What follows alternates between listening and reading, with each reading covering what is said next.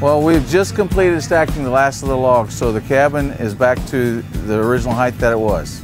Build a plastic structure around it so the logs, once they're set in place, we try to keep them as dry as possible, and it is to protect the logs uh, any more damage.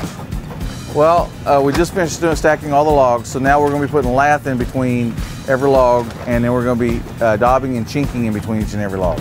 We're making a, a cut table for the lath, so we're able to cut each seam uh, for the lath to fit it perfectly. Like tried to keep as many of the original dovetails as there was.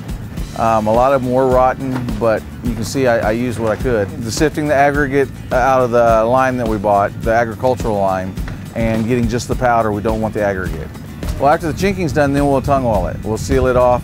Uh, I've, I've, still got to put the bucks in for the windows and the doors. We're doing that as before we chink it, as we put it in the lath.